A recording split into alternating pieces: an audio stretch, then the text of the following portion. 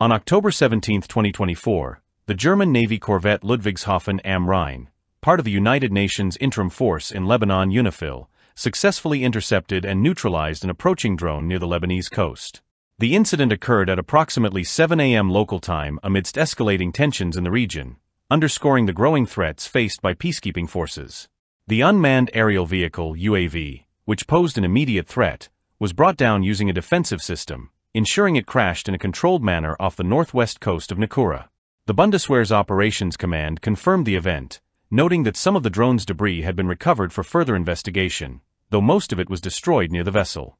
This marks the first recorded drone-related incident involving the Ludwigshafen am Rhein in recent times, highlighting the increasing use of drones in the region's conflicts. The interception comes at a time when UNIFIL forces have faced repeated attacks.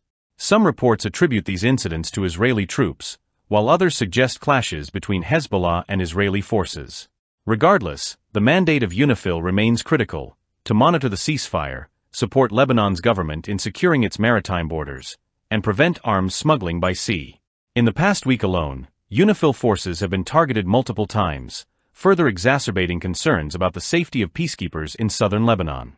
The German contribution to the UNIFIL Maritime Task Force is substantial, with around 60 personnel stationed aboard the Ludwigshafen am Rhein and another 40 personnel at the UN headquarters in Naqoura. Following these recent attacks, the Bundeswehr is evaluating a heightened threat level for its forces in the region. The incident also highlights the broader defense context in which it occurs. In recent years, Israel and Germany have strengthened their military cooperation, particularly in the areas of missile defense and joint exercises. One of the most significant developments is Germany's acquisition of the Arrow 3 missile defense system, a deal valued at $3.5 billion. This marks the largest defense agreement in Israel's history, with Germany becoming the first foreign nation to procure this advanced system. The Arrow 3, designed to intercept long-range ballistic missiles, will be a key element of Germany's national defense strategy. It is also set to play a central role in NATO's broader European Sky Shield initiative, aimed at enhancing missile defense capabilities across the continent. Beyond missile defense, the defense relationship between the two countries extends to joint air exercises and the sale of advanced Israeli defense technologies, such as the Trophy Active Protection System for German tanks. These collaborations underline the strategic depth of the partnership, especially in light of shared security concerns in the Middle East and Europe. However, the relationship is not without its challenges.